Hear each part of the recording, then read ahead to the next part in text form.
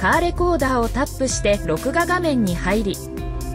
ビデオキーを押してビデオを一時停止ビデオを開始し写真キーを押してフロントレンズとリアレンズの写真を撮影し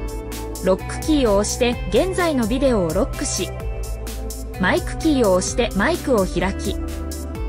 スイッチキーを押してレンズスクリーンモードを切り替えダイヤルバックキーを押して保存されたビデオを表示し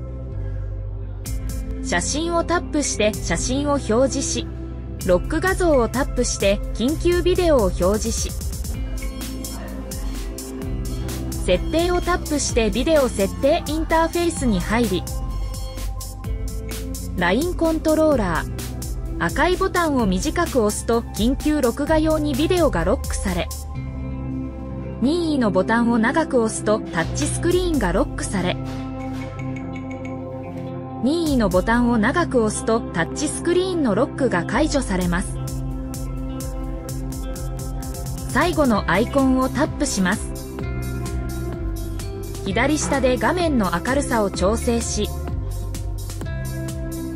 右下でホストの音量を調整し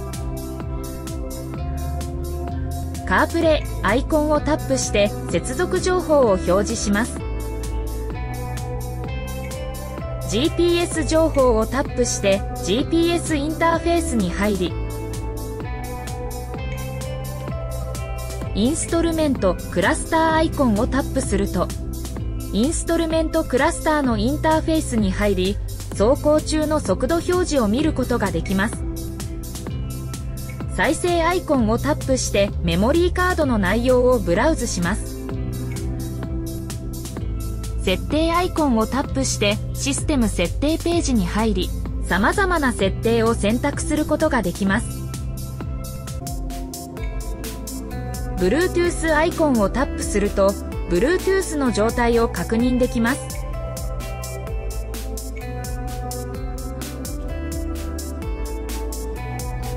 携帯電話デバイスを選択する携帯電話の接続を見つけるための設定で接続情報を表示するには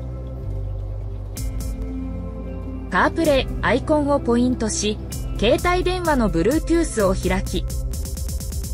Bluetooth 接続のペアリングの CS5DVR の先頭を見つけ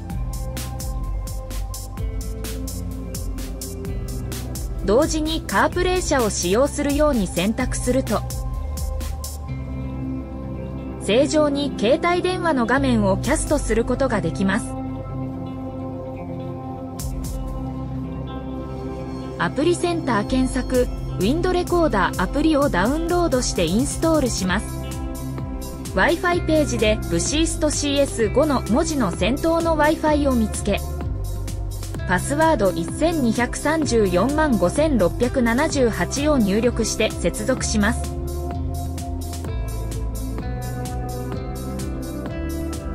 アプリを開きデバイスのページをタップするとリアルタイム画面が表示されレンズの切り替えビデオの一時停止写真撮影などの操作ができます。携帯電話が Wi-Fi に接続されている場合有線コントローラーは操作できません。左下隅のアイコンをクリックしてストレージページに入り必要に応じて適切なストレージファイルのページに切り替えることができます。右下をタップして設定ページに入る。要件に応じて設定可能。